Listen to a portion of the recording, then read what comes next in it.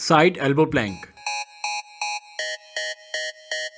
It is a calisthenics exercise. It is an isometric exercise for the whole body.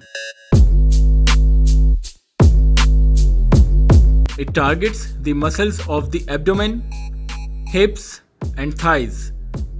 These are transverse abdominis, internal and external obliques, glutes, hamstring, and quadriceps. It is a great exercise that can be used to lose the love handles.